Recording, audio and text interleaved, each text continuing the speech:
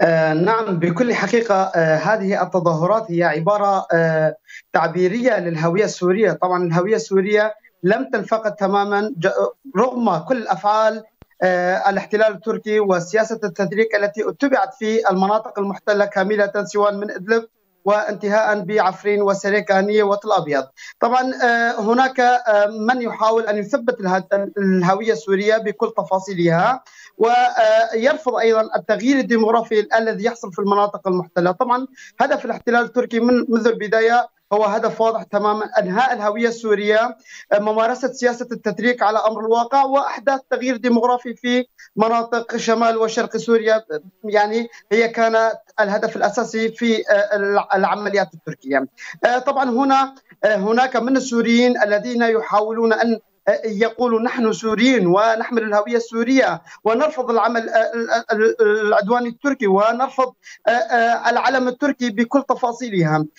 لكن بكل أسف هناك من ما تسمى بالمعارضة السورية هي من تنتهج نهج العدائية ونهج جلب العدو إلى المناطق السورية وتمسك بيد العدو من أجل احتلال المزيد من المناطق. داخل الجغرافيا السورية. من يريد أن يثبت الهوية السورية هنا بكل تأكيد هو سيرفض كل أنواع الاحتلال داخل الجغرافيا السورية أيا كان من يكن. فبذلك هذه التفاصيل كلها آه، يجب أن يكون هناك وحدة سورية متكاملة لرفض احتلال واقتطاع أجزاء من سوريا بكل تأكيد. سيد خالد بالنسبة للداخل السوري وكما تحدثت يعني وبعد هذا التظاهر هل يمكن أن تشهد المنطقة احتجاجات أكثر وتوسع أكبر لرفض مشروع النظام التركي بإعادة توطين اللاجئين وتغيير ديمغرافية المنطقة؟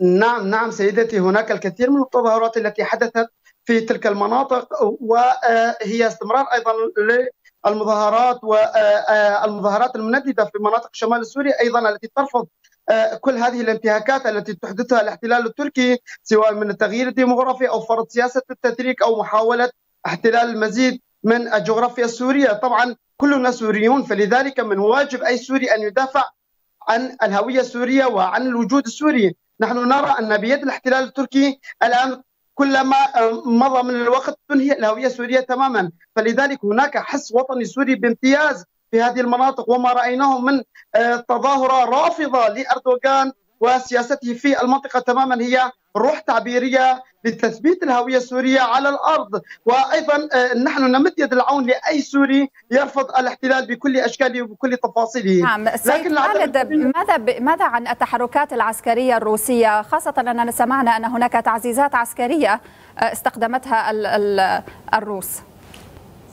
نعم آه، آه، سيدتي هنا أيضا آه، التحركات الروسية روسيا فشلت في الإشراف على وقف أطلاق النار في المنطقة تماما وروسيا لم تكن قادرة على إدارة وقف أطلاق النار وأن تكون جديرة كدوله دائمة العضوية في بين المجتمع الدولي أن تكون قادرة على فرض حظر أطلاق النار وتطبيق قواعد وقف أطلاق النار تماما. فلذلك الآن روسيا تحاول أن تعيد نفسها إلى المنطقة عبر بعض التحركات العسكرية وكما آه، رأينا يوم أمس من الطيران الروسي يراقبون آه، طول الخط الحدودي مع آه، باكور كردستان. في الحقيقة روسيا الآن فقط تحاول أن تثبت نفسها وأن ترسل رسائل للجميع بأنها موجودة في المنطقة بشكل أكيد، لكن عندما تتقاطع المصالح التركية مع المصالح الروسية حتما روسيا ستختار مصالحها على حساب شعوب المنطقة بكل أسف طيب. أقول هذا أن روسيا فشلت في إدارة وقف إطلاق النار في المنطقة ماذا طيب ماذا عن المجتمع الدولي يعني برأيكم هل سيفي بالتزاماته أمام هذه خاصة أنه كان هناك اتفاقية في عام 2019 بين الدول الضامنة للحفاظ على استقرار هذه المنطقة ما ما ردود أفعال المجتمع الدولي وكيف تنظرون إليها؟ سيدتي إلى الآن المجتمع الدولي هو مجتمع صامت آه، آه، بكل أسف.